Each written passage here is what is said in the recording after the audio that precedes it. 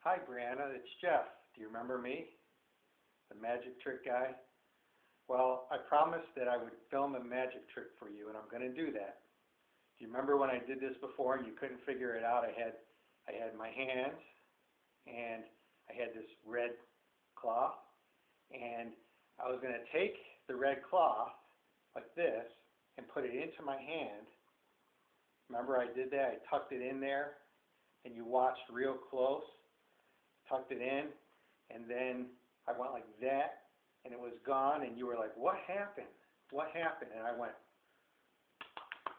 and I reached, and I reached into my hand and pulled it back out. Do you remember that?